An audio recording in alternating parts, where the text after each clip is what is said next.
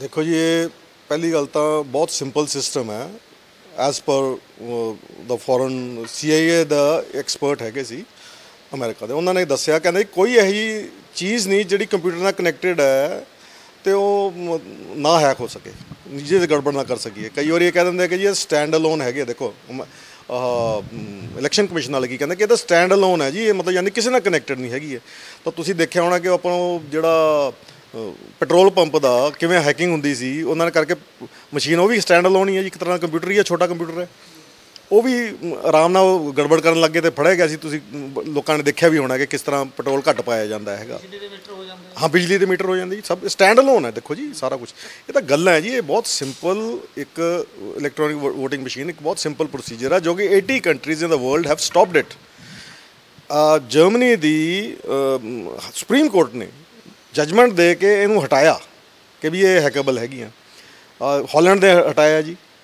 ਜਿਹੜੀ ਉੱਥੇ ਆਇਰਲੈਂਡ ਸੀਗਾ ਆਇਰਲੈਂਡ ਵਿੱਚ ਇਹ ਚਾਲੂ ਵੀ ਹੋ ਗਈ ਸੀਗੀ ਈਵੀਐਮਸ ਉਹਨਾਂ ਨੇ ਲੋਕਾਂ ਨੇ ਆਬਜੈਕਸ਼ਨ ਕੀਤੀ ਕਿ ਜੀ ਇਹ ਹੈਕੇਬਲ ਹੈ। ਉਹਨਾਂ ਨੇ ਅਰਬ- ਅਰਬਾਂ ਦਾ, ਕਰੋੜਾਂ ਦਾ ਨੁਕਸਾਨ ਹੋਇਆ ਤਾਂ ਉਹਨਾਂ ਨੇ ਵਿਡਰਾਅ ਕੀਤੀਆਂ। ਆਪਣੇ ਇੱਥੇ ਨਹੀਂ ਕਰ ਰਹੇ। ਕਿਉਂ ਨਹੀਂ ਕਰ ਰਹੇ? ਇਹ ਸੋਚਣ ਦੀ ਗੱਲ ਹੈਗੀ ਹੈ। ਜਦੋਂ ਮੈਂ ਕੇਸ ਫਾਈਲ ਕੀਤਾ ਸੀ, ਮੈਂ ਸੁਪਰੀਮ ਇਹਨਾਂ ਨੂੰ ਬੜੀ, ਮੈਂ ਸਾਰੇ ਇਲੈਕ- ਪਾਰਟੀਆਂ ਕੋਲ ਗਿਆ। ਕਿਸੇ ਨੇ ਮੇਰਾ ਸਾਥ ਨਹੀਂ ਦਿੱਤਾ, ਮੈਂ ਕਿਹਾ ਜੀ ਮੈਨੂੰ ਕੋਈ ਵੱਡਾ ਵਕੀਲ ਕਰ ਦਿਓ, ਮੇਰੇ ਕੋਲ ਇੰਨੇ ਪੈਸੇ ਨਹੀਂ, ਬਾਕੀ ਮੈਂ ਤਾਂ ਇੱਕ ਸੰਤ ਹਾਂ ਜੀ। ਸਮਾਜ, ਸਮ- ਸਮਾਜ ਸੇਵੀ ਹੈਗੇ ਹਾਂ ਜੀ, ਮੈਂ ਤਾਂ ਆਪਦੇ ਦੇਸ਼ ਵਾਸਤੇ ਕਰਨਾ ਚਾਹੁੰਦਾ ਕਿ ਵੀ ਇਹ ਬਹੁਤ ਗਲਤ ਹੋ ਰਿਹਾ। ਜਦੋਂ ਮੇਰਾ ਕਿਸੇ ਨੇ ਸਾਥ ਨਹੀਂ ਦਿੱਤਾ, ਮੈਂ ਸਿੱਧਾ ਗਿਆ ਡਾਇਰੈਕਟ ਸੁਪਰੀਮ ਕੋਰਟ 'ਚ ਤੇ I filed a contempt of court case against the chief election commissioner of India ਉਹ ਜਿਹੜਾ ਨਾਮ ਤੇ ਹੀ ਕਰਨਾ ਹੁੰਦਾ ਕਿ doctor Swami Ishwardas Singh versus Nasim Zaidi chief election commissioner of India 2016 ਚ ਮੈਂ ਕੇਸ ਕੀਤਾ ਸੀ ਜੀ 24 ਅਪ੍ਰੈਲ 2017 ਚ ਆ ਗਿਆ। ਜਿੱਥੇ ਕਿ ਲਿਖਤੀ ਤੌਰ ਤੇ ਸੁਪਰੀਮ ਕੋਰਟ ਦੇ ਵਿੱਚ ਇਲੈਕਸ਼ਨ ਕਮਿਸ਼ਨ ਆਫ ਇੰਡੀਆ ਨੂੰ ਦੇਣਾ ਪਿਆ ਕਿ ਜੀ ਅਸੀਂ ਅਗਲੀ 2019 ਚ ਹਰ ਈਵੀਐਮ ਨਾਲ ਵੀਵੀਪੈਟ ਲਵਾਵਾਂਗੇ ਜੋ ਹੁਣ ਲੱਗ ਗਈ ਹੈ।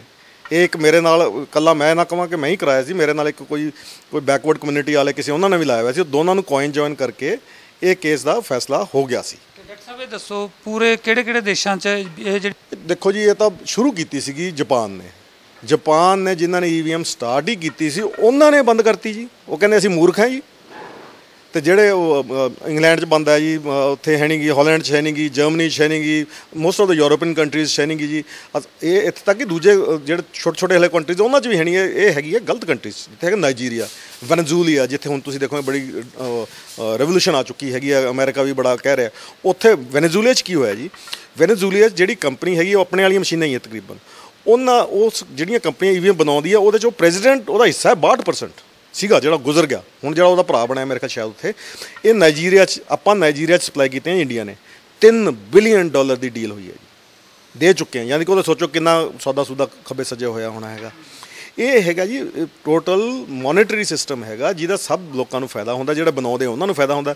ਇੱਕ ਲੋਕਾਂ ਨੂੰ ਬਹੁਤ ਵੱਡਾ ਵਹਿਮ ਹੈ ਕਿ ਸਿਰਫ ECI ਯਾਨੀ ਕਿ electronic corporation of India limited and Bharat electronic limited ਇਹੀ ਬਣਾਉਂਦੇ ਆ। ਨ- ਜਿਹੜੀ ਕਿ ਪਬਲਿਕ ਅੰਡਰਟੇਕ ਸਰਕਾਰੀ। ਨਹੀਂ ਜੀ, ਇੱਕ ਟੌਰਸ ਕਰਕੇ ਇੱਕ ਕੰਪਨੀ ਹੈਗੀ ਹੈ ਜਿਹੜੀ ਇਹਨਾਂ ਨਾਲ ਐਸੋਸੀਏਟਡ ਜਿਹੜੀ ਸ਼ਿਵ ਸੇਨਾ ਦੇ ਐਮਪੀ ਕੋਈ ਐਮਪੀ ਨਹੀਂ, ਕੋਈ ਉਹਨਾਂ ਦਾ ਬੰਦਾ ਪਟੇਲ ਕਰਕੇ। ਉਹ ਵੀ ਬਣਾਉਂਦੇ ਆ ਜੀ। ਉਹ ਹਾਂਜੀ ਹਾਂਜੀ। ਉਹ ਕੋਈ ਦੱਸਦਾ ਹੀ ਨਹੀਂ ਜੀ, ਇਲੈਕਸ਼ਨ ਕਮਿਸ਼ਨ ਬੋਲੇ। ਦੱਸੇ ਡਿਨਾਈ ਕਰੇ ਕਿ ਹੈ ਨਹੀਂ ਨਹੀਂ ਜੀ, ਉਹ ਬਣਾਉਂਦੇ। ਜਿਹੜੀ ਇਹਦੀ ਰਿਪੇਅਰ ਹੁੰਦੀ ਹੈ ਜੀ, ਉਹ ਕੋਈ ਗੁਜਰਾਤ ਚ, ਅਮਿਤ ਸ਼ਾਹ ਦਾ ਪਤਾ ਨਹੀਂ ਲੜਕਾ ਜਾਂ ਕਿਸੇ ਉਹਦੇ ਕੋਲ ਜਿਹਦੇ ਕੋਲ ਕੰਪਨੀ ਹੈਗੀ, ਹੁਣ ਦੱਸੋ ਜੀ, ਇੱਥੇ ਸਾਰੀ ਮੈਨੀਪੂਲੇਟਡ ਹੋ ਜਾਂਦੀਆਂ ਉਹ ਨਾ ਇਲੈਕਟ੍ਰੋਨਿਕ ਇਲੈਕਟ੍ਰੋਨਿਕਲੀ ਆਪਰੇਟਡ ਹੈਗੇ ਉਹ ਬੰਦ ਨਹੀਂ ਹੁੰਦੇ ਜੀ, ਪੁਰਾਣੇ ਹੀ ਚੱਲੀ ਆਉਂਦਾ ਹੈਗਾ। ਇਹ ਬਾਕੀ ਸਟੈਂਡ ਅਲੋਨ ਸਟੈਂਡ ਅਲੋਨ ਕਰੀ ਜਾਂਦੇ ਆ, ਜਿਹੜੇ ਆ ਕੇ ਤੁਸੀਂ ਤਾਂ ਹੀ ਇਹ ਹੁੰਦਾ ਹੈ, ਇਹਨੇ ਅੱਜ ਕੱਲ ਜਿਹੜਾ ਆਪਾਂ ਨੂੰ ਅਵੇਅਰ ਰਹਿਣਾ ਚਾਹੀਦਾ ਕਿ ਆਲੇ ਦੁਆਲੇ ਕਿਤੇ ਵੀ ਆਪਾਂ ਦੇਖੀਏ, ਕੋਈ ਗੱਡੀਆਂ ਫਿਰਦੀਆਂ ਜਾਂ ਕੁਝ ਹੋਰ ਫਿਰਦੀਆਂ, ਇਹ ਹੈਕਿੰਗ ਬਾਹਰੋਂ ਵੀ ਕੀਤੀ ਜਾ ਸਕਦੀ ਹੈ, ਯਾਨੀ ਕਿ ਸੌਫਟਵੇਅਰ ਦੇ ਹਿਸਾਬ 'ਚ। ਤੇ ਕੋ- ਬਾਕੀ ਮੈਨੀਪੂਲੇਟ ਦਾ ਜਿਹੜਾ ਇਹਦਾ ਹੈਗਾ ਮੈਮਰੀ ਕਾਰਡ ਉਹ ਸਿਰਫ 1200 ਰੁਪਏ ਲੱਗਦੇ ਆ ਜੀ। ਜਦੋਂ ਮਰਜ਼ੀ ਚੇਂਜ ਕਰ ਦਿਓ ਜਦੋਂ ਰਿਪੇਅਰ ਵਾਸਤੇ ਚਲੀ ਗਈ ਜੀ ਇਹਨਾਂ ਕੋਲੇ। ਜਦੋਂ ਬਣ ਰਹੀਆਂ ਉੱਥੇ ਉੱਥੇ ਚੇਂਜ ਕਰ ਦਿਓ ਜੀ। ਬਣੀਆਂ ਬਣਾਈਆਂ ਫਿਰਦੀਆਂ ਜੀ ਹੁਣ। ਮੇਰੇ, ਮੈਂ ਆਪਦੇ ਫੋਨ 'ਚ ਫੀਡ ਕੀਤਾ, ਮੈਂ ਸਵੇਰੇ 3 ਵਜੇ ਉੱਠਦਾ ਜੀ। ਤੇ ਇੱਕ 3:15 ਤੇ ਲਾਇਆ ਹੋਇਆ, ਕਿ ਮੈਂ ਕਿਤੇ ਸੁੱਤਾ ਨਾ ਰਹਿ ਜਾਂ ਕੋਈ ਮੈਂ ਉਹਦਾ ਰੱਬ ਦਾ ਨਾਂ ਲੈਣਾ ਹੁੰਦਾ ਜੀ। ਤਾਂ ਉਵੇਂ ਇਹ ਇਹ ਦੇ ਸਕਦੇ ਆ ਕਿ ਜੀ ਜਦੋਂ ਪਹਿਲੇ 100 ਹੋਣ, ਉਦੋਂ ਕੁਝ ਨਾ ਹੋਵੇ। ਉਦੋਂ ਬਾਅਦ ਜਦੋਂ 101 ਆਵੇ, ਉਦੋਂ ਹੈ ਹੋ ਜਾਏ ਜੀ ਇੱਧਰ। ਜਾਂ 104 ਤੇ ਹੋਵੇ। ਇਹ ਤਾਂ ਮੇਰੇ ਤੇ ਨਾ ਜੀ ਪ੍ਰੋਗਰਾਮਰ ਕੀਤੇ ਤੇ ਹੈਗੀ ਹਾਂ ਸੈਟਿੰਗ ਕਰਨੀ ਹੈਗੀ ਹੈ ਜੀ। ਬਹੁਤ ਸਿੰਪਲ ਅੰਡਰਸਟੈਂਡਿੰਗ ਹੈਗੀ ਹੈ ਕਿ ਲੇਕਿਨ ਇਹਦੇ ਨਾਲ ਇਹ ਹੈਗਾ ਕਿ ਆਪਾਂ ਨੂੰ ਇਹ ਸਿਸਟਮ ਆਉਣ ਨਹੀਂ ਦਿੱਤਾ ਜਦ ਮੈਂ ਜਦੋਂ ਫਾਈਲ ਕੀਤਾ ਕੇਸ ਨਾ ਜੀ, ਮੈਂ ਇਹ- ਮੈਂ ਕੀ ਤੋਂ ਲਾਇਆ ਸੀ ਮੈਂ ਕਿਹਾ ਜੀ, ਇਹ- ਇਹ election election commission of India government of India ਤੇ ਇੱਥੋਂ ਦੀ ਸਰਕਾਰ ਸਟੇਟ ਗਵਰਨਮੈਂਟ ਸਾਰੇ ਮਿਲੇ ਹੋਏ ਆ ਜੀ। ਜਾਣਬੁੱਝ ਕੇ ਨਹੀਂ ਲਾ ਰਹੇ ਜੀ। ਮਸ਼ੀਨਾਂ ਬਣਾਉਣੀਆਂ ਸੀ 10 ਲੱਖ ਜੀ। ਇਹਨਾਂ ਨੇ 2016 ਤੇ ਜਦੋਂ ਦੇ ਆਏ, ਉਦੋਂ ਤੱਕ ਇਹਨਾਂ ਨੇ ਜੀ 22000 ਮਸ਼ੀਨਾਂ ਬਣਾਈਆਂ ਸੀ ਸਿਰਫ, ਜਦੋਂ ਅਸੀਂ ਕੇਸ ਲਾਇਆ ਕਿ ਤੁਸੀਂ 22000 ਕਿਉਂ ਬਣਾਈਆਂ ਹੋਏ? ਤੁਸੀਂ ਦਿੱਤਾ ਸੀ ਸੁਬਰਾਮਨਿਆਨ ਸਵਾਮੀ ਨੇ ਇੱਕ ਕੇਸ ਫਾਈਲ ਕੀਤਾ ਸੀ ਉਹਨੇ ਉਹ, ਉਹਦੀ ਤਹਮਤ ਇਹ ਸੀਗੀ, ਦੋ, ਉਹਨੇ ਹਾਈ ਕੋਰਟ 'ਚ ਫਾਈਲ ਕੀਤਾ ਸੀ ਦਿੱਲੀ 'ਚ ਕਿ ਜੀ ਕਾਂਗਰਸ ਨੇ ਸਾਡੀ, ਮੇਰੀਆਂ ਹੈਕ ਕੀਤੀਆਂ ਮਸ਼ੀਨਾਂ 2009 'ਚ ਖੜਾ ਹੋਇਆ ਸੀ ਉਹ ਇਲੈਕਸ਼ਨ ਉਹ ਹਾਰ ਗਿਆ ਸੀ। ਉਹਨੇ ਉੱਥੇ ਫਾਈਲ ਕਰਤਾ ਕਿ ਇਹ ਹੈਕੇਬਲ ਹੈਗੀਆਂ।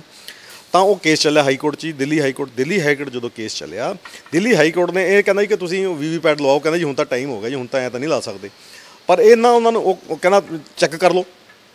ਅੱਜ ਤੁਹਾਨੂੰ ਮੈਂ ਦਿਖਾ ਦਿੰਦਾ ਕਿਵੇਂ ਹੈਕ ਹੁੰਦੀਆਂ ਕਹਿੰਦਾ ਇਹ ਸੁਬਰਾਮਨਿਆਨ ਸਵਾਮੀ ਦਾ ਵਚਨ ਹੈ ਜੀ ਮੈਂ ਨਹੀਂ ਕਹਿ ਰਿਹਾ।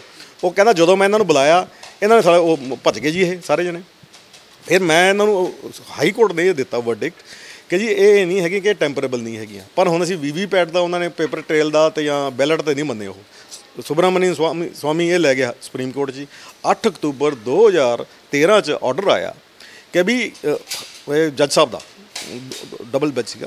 ਉਹਨਾਂ ਨੇ ਕਿਹਾ ਕਿ ਭਾਈ ਤੁਸੀਂ ਇਹ ਵੀਵੀ ਈਵੀਐਮ ਦਾ ਕੋਈ ਮਤਲਬ ਨਹੀਂ ਹੈ, ਬਗੈਰ ਇਹ ਭਰੋਸੇਮੰਦ ਨਹੀਂ ਹੈ, ਜੇ ਵੀਵੀਪੈਟ ਨਹੀਂ ਲਾਈ ਜਾਂਦੀ, ਜਨਤਾ ਨੂੰ ਯਕੀਨ ਨਹੀਂ ਹੈਗਾ।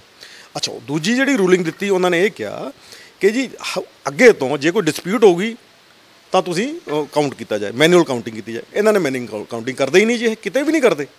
ਆ ਛੋਟੀ ਜੀ ਗੱਲ ਹੀ ਹੋਈ ਹੈਗੀ ਇੱਥੇ ਤੁਹਾਨੂੰ ਮੈਂ ਦੱਸਦਾ ਕਿ ਇੱਕ ਕਿਸੇ ਨੇ ਐਫੀਡੇਵਿਟ ਪਾਇਆ ਕਿ ਹਾਈ ਕੋਰਟ ਦੇ ਜੱਜ ਸੀਗੇ ਜੀ।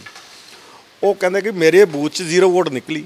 ਇਹ ਉਹਦੇ ਦੋ ਸਾਲ ਹੀ ਹੋਇਆ ਜੀ, ਪਰ ਇਹ ਜਿਹੜੀ ਮੈਂ ਹੁਣ ਪੜ੍ਹੀ ਹੈ ਕਿ ਜਿਹੜੇ ਇਹਨਾਂ ਨੇ, ਇਹਨਾਂ ਜੱਜ ਸਾਹਿਬ ਦੀ ਐਫੀਡੇਵਿਟ ਲੈ ਕੇ ਕਿਸੇ ਨੇ ਜਿਹੜਾ ਜਿਹੜੇ ਮੇਰੇ ਜਿਨ੍ਹਾਂ ਨੇ ਕੇਸ ਕੀਤਾ ਸੀ, ਉਹਨਾਂ ਨੇ ਫਾਈਲ ਕੀਤਾ ਹੋਇਆ ਸੁਪਰੀਮ ਕੋਰਟ 'ਚ ਵੀ। ਐਫੀਡੇਵਿਟ ਲੈ ਕੇ। ਜੱਜ ਸਾਹਿਬ ਦਾ ਕੀ ਕਹਿਣਾ ਸੀ ਹਾਈ ਕੋਰਟ ਦੇ? ਉਹ ਕਹਿੰਦਾ ਜੀ ਕਿ ਮੈਂ, ਮੇਰੇ ਬੂਥ 'ਚ ਕਹਿੰਦਾ ਜ਼ੀਰੋ ਕਿਵੇਂ ਹੋ ਸਕਦੀ? ਕਹਿੰਦਾ ਮੇਰੀ, ਚਲੋ ਮੇਰੀ ਜਨਾਨੀ ਮੇਰੇ ਖਿਲਾਫ ਹੋ ਸਕਦੀ ਹੈ। ਮੇਰੇ ਬੱਚੇ ਮੇਰੇ ਖਿਲਾਫ ਹੋ ਸਕਦੇ ਆ ਕਹਿੰਦਾ ਮੇਰੀ ਵੋਟ ਕਿੱਧਰ ਗਈ ਜਿਹੜੀ ਮੈਂ ਆਪਣੇ ਆਪ ਨੂੰ ਪਾਈ ਜੀ? ਐਂ ਹੀ ਕਰਕੇ ਕਿ ਡੀਜੀਪੀ ਸੀਗੇ ਅਸਾਮ ਦੇ ਜੀ। ਉਹਨਾਂ ਦਾ ਮੈਂ ਹੁਣੇ ਦੇਖਿਆ ਟਵੀਟ ਜਾ ਕੱਲ ਹੀ ਦੇਖਿਆ। ਉਹ ਕਹਿੰਦਾ, ਉਹਨੇ, ਉਹ- ਉਹਨਾਂ ਤੋਂ ਏਐਨਆਈ ਸ਼ਾਇਦ ਮੇਰੇ ਖਿਆਲ ਉਹਨਾਂ ਨੇ ਪੁੱਛਿਆ ਸੀਗਾ ਐਨਆਈ ਤੁਹਾਡੀ ਹੈਗੀ ਹੈ? ਹਾਂ, ਹਾਂਜੀ ਹਾਂਜੀ, ਉਹਨਾਂ ਨੇ ਪੁੱਛਿਆ। ਉਹ ਕਹਿੰਦਾ ਜੀ, ਮੈਂ ਪਾਈ ਵੋਟ ਇੱਧਰ ਕਾਂਗਰਸ ਨੂੰ, ਚਲੀ ਗਈ ਬੀਜੇਪੀ ਨੂੰ। ਕਹਿੰਦਾ ਇਹਨਾਂ ਰੂਲ ਹੀ ਇਹੋ ਜਿਹੇ ਬਣਾਇਆ ਕਹਿੰਦਾ ਮੈਂ ਡਰਦਾ ਹੀ ਨਹੀਂ ਪਾਇਆ।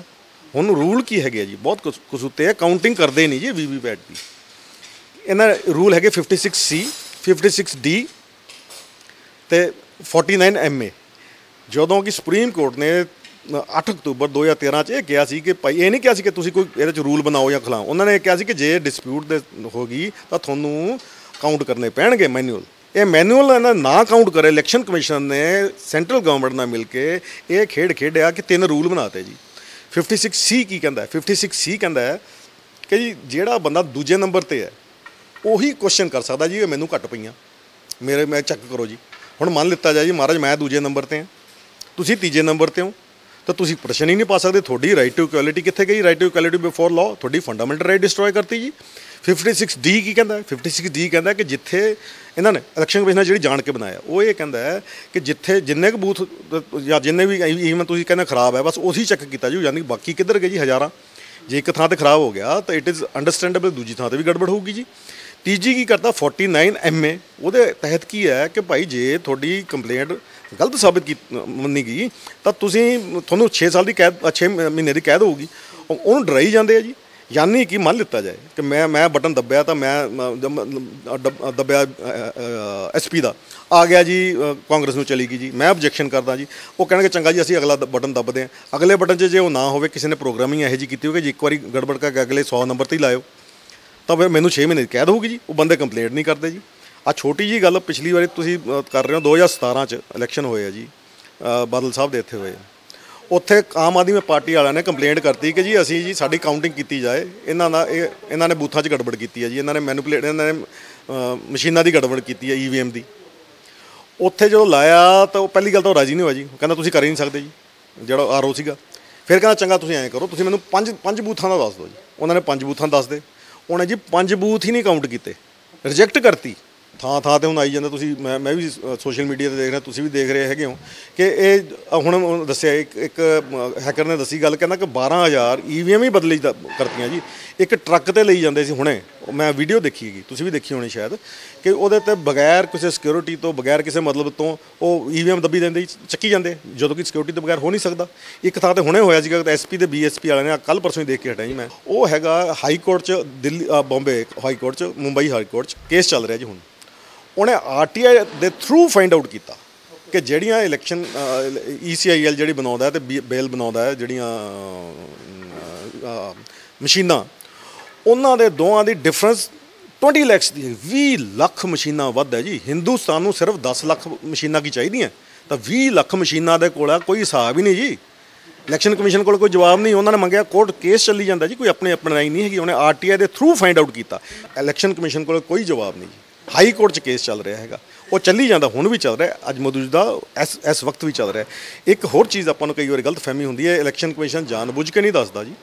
ਇੱਕ ਟੌਰਸ ਡਾਇਨਾਸੌਰ ਕਰਕੇ ਇੱਕ ਅ, ਬੰਬੇ 'ਚ ਮੁੰਬਈ 'ਚ ਕੰਪਨੀ ਹੈਗੀ ਹੈ ਜਿਹੜੀ ਕਿ ਕੋਈ ਸ਼ਿਵ ਸੈਨਾ ਦਾ ਕੋਈ ਪਟੇਲ ਕਰਕੇ ਚਲਾ ਰਿਹਾ ਜੋ ਮਸ਼ੀਨਾਂ ਉਹ ਵੀ ਬਣਾਉਂਦਾ ਉਹ ਨਾਲ ਐਸੋਸੀਏਟਡ ਹੈਗਾ। ਉਹ ਕੋਈ ਗੱਲ ਹੀ ਨਹੀਂ ਕਰਦੇ ਕਿ ਹੋਰ ਵੀ ਬਾਹਰੋਂ ਆ ਰਹੀਆਂ ਜੀ। ਤਾਂ ਤੁਸੀਂ ਸੋਚੋ ਸਾਨੂੰ ਚਾਹੀਦੀਆਂ 10 ਕੁ ਲੱਖ ਮਸ਼ੀਨਾਂ ਟੋਟਲ 20 ਲੱਖ ਤਾਂ ਵੈਸੀ ਤੁਰੀ ਫਿਰਦੀਆਂ ਜੀ ਵਾਧੂ। ਬਾਕੀ ਕੁਝ ਉਹ ਫालतू ਬਣਾਈ ਫਿਰਦੇ ਜੀ। ਬਾਕੀ ਅੱਛਾ, ਹਾਂ। ਇੱਕ ਇਹ ਹੈਗੀ ਆਪਣੇ ਕੋਲ ਈਵੀਐਮ ਦੀ ਕੋਈ ਵੀ ਟ੍ਰੇਡਮਾਰਕ ਹੈ ਨਹੀਂ। ਤੁਸੀਂ ਵੀ ਬਣਾ ਸਕਦੇ ਹੋ, ਮੈਂ ਵੀ ਬਣਾ ਸਕਦੇ ਹਾਂ। ਇਹਨਾਂ ਨੇ ਕੀਤਾ ਸੀ ਜੀ, ਇਹ ਇਹ ਮੈਂ ਸੁਬਰਮਨੀ ਸਵਾਮੀ ਨੇ ਲੱਭ ਕੇ ਦਿੱਤਾ। ਉਹ ਟ੍ਰੇਡਮਾਰਕ ਵਾਸਤੇ ਫੋਰਨ ਚ, ਜਿਹੜਾ ਵਰਲਡ ਟ੍ਰੇਡਮਾਰਕ ਉਹਨਾਂ ਨੇ ਕਿਹਾ, ਤੁਸੀਂ ਤਾਂ 20 22 20 ਬਾਈ ਚੀਜ਼ਾਂ ਉਹਨਾਂ ਨੇ ਕੱਢਤੀ ਕਹਿੰਦੇ ਤੁਸੀਂ ਆ ਪਹਿਲੇ ਆਪਦੇ ਚੀਜ਼ਾਂ ਦਿਓ ਫਿਰ ਨਹੀਂ, ਤਾਂ ਤੁਹਾਨੂੰ ਅਸੀਂ ਮਾਰਕਾ ਦੇ ਸਕਦੇ ਹਾਂ। ਦਿੱਤਾ ਹੀ ਨਹੀਂ ਜੀ, ਹੈ ਨਹੀਂ। Trademark they don't have the trademark we I can make it you can make it anybody can make it and they can use do anything ਦੇਖੋ ਜੀ, ਮੈਂ ਸਿੱਧੀ ਜੀ ਗੱਲ ਜੀ ਆਈਸ਼ਾ ਟਰੈਕਟਰ ਮੰਨ ਲਿੱਤਾ ਜਾਏ। ਉਹਦਾ ਇੱਕ ਹੈਗਾ ਨਾ ਕੰਪਨੀ ਦਾ। ਜੇ ਉਹਦੇ ਉਹਦੇ ਮੰਨ ਦਿੱਤਾ ਜਾਏ ਕਿ ਕਿਸੇ ਟਰੈਕਟਰ ਦਾ ਕੋਈ ਤੁਹਾਡੇ ਕੋਲੇ ਰਾਈਟ ਹੀ ਹੈ ਨਹੀਂ, ਤਾਂ ਮੈਂ ਵੀ ਬਣਾ ਲੂੰਗਾ ਤੁਸੀਂ ਵੀ ਬਣਾ ਲਓਗੇ, ਕੋਈ ਕੁਝ ਨਹੀਂ ਕਰ ਸਕਦਾ ਜੀ। ਲੀਗਲੀ ਤੁਸੀਂ ਬਣਾ ਸਕਦੇ ਹੋ ਈਵੀਐਮ ਮੈਂ ਵੀ ਬਣਾ ਸਕਦਾ ਜੀ। ਇਹ ਸਾਰੇ ਝੂਠ ਬੋਲ ਰਹੇ ਦੱਸਣ ਕਿ ਸਾਡੇ ਕੋਲ ਟ੍ਰੇਡਮਾਰਕ ਹੈਗਾ। ਹਾਂਜੀ, ਇਹ ਬੜਾ ਇੰਟਰਸਟਿੰਗ ਕੇਸ ਹੈ ਜੀ। ਇਹਨੇ ਨਾ, ਤੁਸੀਂ ਸਾਰੇ ਆਪਣੇ ਇੰਡੀਆ ਚ ਚੱਲਿਆ ਵੀ ਸੀ, ਇਹਨੇ ਜਨਵਰੀ ਚ ਨਾ ਜੀ ਇੰਗਲੈਂਡ ਹਾਂਜੀ ਇਹਦਾ ਨਾਮ ਹੈਗਾ ਸੈਯਦ ਸੂਜਾ ਜੀ। ਵੈਸੇ ਪੂਰਾ ਨਾਮ ਮੇਰਾ ਹੈਗਾ, ਅਹ, ਹੈਦਰ ਅਬਾਸ ਹੈ। ਸ਼ਾਇਦ ਸੈਯਦ ਸ਼ੁ- ਸ਼ੁਜਾ ਯੂਜ਼ ਕਰਦਾ। ਸ਼ੁ- ਸ਼ੁਜਾ ਹੁੰਦਾ ਮਤਲਬ ਸ਼ੂਰਵੀਰ। ਕਿਤੇ ਕਪਿਲ ਸਿੱਬਲ ਵੀ ਉੱਥੇ ਗਿਆ ਸੀ। ਹੁਣ ਕਪਿਲ ਸਿੱਬਲ ਦੀ ਥੋੜੀ ਜਿਹੀ ਸੱਚਾਈ ਜ਼ਰੂਰ ਇਹ ਆਸ਼ਾ- ਸੈਯਦ ਸੂਜਾ ਖੁਦ ਕਹਿੰਦਾ ਕਿ ਉਹਨੇ ਮੇਰੀ ਹੈਲਪ ਕੀਤੀ ਸੀ ਜਾਣ ਨੂੰ। ਹੁਣ ਇਹਦੀ ਬੜੀ ਇੰਟਰਸਟਿੰਗ ਸਟੋਰੀ ਹੈ ਜੋ ਆਪਾਂ ਨੂੰ ਗੌਰ ਕਰਨੀ ਚਾਹੀਦੀ ਹੈਗੀ ਹੈ। ਇਹ ਉਹਦਾ ਮੂੰਹ ਇਹਨੇ ਢੱਕ ਲਿਆ ਸੀਗਾ, ਕਹਿੰਦਾ ਜੀ ਮੇਰੇ ਸੱਟ ਵੱਜੀ ਵੀ ਸੀ ਤੇ ਉੱਥੇ ਹਾਜ਼ਰ ਨਹੀਂ ਹੋਇਆ ਸੀਗਾ। ਪਰ ਇਹਨੇ ਸਾਰਾ ਕੁਝ ਦੱਸਤਾ ਸੀ। ਹੁਣ ਕੀ ਦੱਸਦਾ ਇਹ ਸੈਯਦ ਸੁਜਾ ਇਹ ਕਹਿੰਦਾ ਜੀ, ਅਸੀਂ ਸਾਨੂੰ 2014 ਨੇੜੇ ਤੇੜੇ ਸਾਡੀ ਡਿਊਟੀ ਲੱਗੀ ਸੀਗੀ, ਅਸੀਂ ਸੀਗੇ specialised group IT experts election ECIL ਵਗੈਰਾ ਨੇ, ਇਹਨਾਂ ਨੇ ਗਵਰਨਮੈਂਟ ਬੰਨਿਓ, ਇਹ ਇਹਨਾਂ ਦੀ ਡਿਊਟੀ ਲਾਈ ਕਿ ਤੁਸੀਂ ਦੇਖੋ ਜੀ ਹੈਕ ਹੋ ਸਕਦੀਆਂ। ਇਹਨਾਂ ਨੇ ਹੈਕ ਕਰਤੀਆਂ ਜੀ।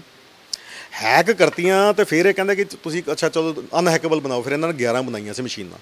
ਪਰ ਜਦੋਂ ਇਹਨਾਂ ਨੇ ਬਣਾਤੀਆਂ ਜੀ, ਇਹ ਮਸ਼ੀ- ਆਹ ਮ- ਮਸ਼ੀਨਾਂ ਬਣਾਤੀਆਂ ਤੇ ਜਦੋਂ ਇਹਨਾਂ ਨੇ ਹੈਕ ਕਰਤੀਆਂ ਤੇ ਇਹ ਕਹਿੰਦਾ ਕਿ ਸਾਨੂੰ ਕਿਸੇ ਕਮਰੇ 'ਚ ਲੈ ਕੇ ਗਏ ਤੇ ਸਾਨੂੰ ਸਾਰਿਆਂ ਨੂੰ ਸ਼ੂਟ ਕਰਤਾ। ਕਹਿੰਦਾ 11 ਬੰਦੇ ਮਾਰਤੇ। ਅਗਲੇ ਦਿਨ ਕਹਿੰਦਾ ਹੈਦਰਾਬਾਦ ਸਾਈਡ ਕਹਿੰਦਾ ਉਹ ਕਰਤਾ ਰਾਈਟਸ ਕਰਤੇ। ਤੇ ਕਹਿੰਦਾ ਉਹਨਾਂ ਨੂੰ ਉਧਰ ਦਬ, ਕਹਿੰਦਾ ਗੋਲੀ ਮੇਰੇ ਵੀ ਮਾਰੀ ਸੀ, ਮੈਂ ਬਚ ਗਿਆ। ਕਹਿੰਦਾ ਮੈਂ ਜਾ ਕੇ ਅਮਰੀਕਾ ਚ ਸ਼ਰਨਾਰਥੀ ਪੋਲੀਟੀਕਲ ਅਸਾਈਲਮ ਦਿੱਤਾ ਜੀ ਉਹਨੇ। ਦੇਖੋ ਹੁਣ ਉਹ ਕਹਿੰਦਾ ਕਿ, ਕਹਿੰਦਾ ਤੁਸੀਂ ਸਾਬਿਤ ਕਰ ਸਕਦੇ ਹੋ ਕਿ ਤੁਸੀਂ, ਤੁਹਾਨੂੰ ਐਸ ਬੇਸ ਤੇ ਮਿਲੀ ਹੈ ਉਹ ਕਹਿੰਦਾ ਤੁਸੀਂ ਲੱਭ ਲਓ। ਕੋਈ ਤਰੀਕੇ ਹੈਗੇ ਆ, ਦੇਖੋ। ਇਹ ਆਪਣੇ ਤੇ ਹੈ ਜੀ। ਉਹ ਕਹਿੰਦਾ ਮੈਂ ਪੋਲੀਟੀਕਲ ਅਸਾਈਲਮ ਦਿੱਤਾ ਇਸ ਬੇਸ ਤੇ। ਉਹ ਜਾ ਕੇ ਅਮਰੀਕਾ ਤੋਂ ਕਾਗਜ਼ ਕਢਾ ਲਓ ਕਿ ਜੀ ਬੇਸ ਤੇ ਲਿੱਤਾ ਕਿ ਨਹੀਂ ਲਿੱਤਾ। ਇਹਨੇ ਹੁਣ ਜਿਹੜਾ ਕਲੇਮ ਕਰ ਰਿਹਾ ਨਹੀਂ ਇਹ ਕਹਿੰਦਾ ਕਿ ਮੈਂ ਹੁਣ ਇਹ ਜੋ ਇਹਨੇ ਇੱਕ ਜੋ ਸਰਕਾਰ 2014 ਚ ਬਣੀ ਸੀ ਜਾਂ 13 ਸਰਕਾਰਾਂ ਜੋ ਬੀਜੇਪੀ ਦੀਆਂ ਬਣੀਆਂ, ਕਹਿੰਦਾ ਸਾਰੀਆਂ ਗੈਰ ਕਾਨੂੰਨੀ ਤੇ ਕਹਿੰਦਾ ਮੈਂ ਇਹਨਾਂ ਨੂੰ, ਹੁਣ ਮੈਂ ਇਹਨਾਂ ਨੂੰ ਹੈਕ ਕਰੂੰਗਾ। ਉੱਥੇ ਬੈਠਾ ਕਰੂੰਗਾ, ਹਰ ਰੋਜ਼ ਇਹ ਪਾਉਂਦਾ ਹੈ ਕਾਗਜ਼।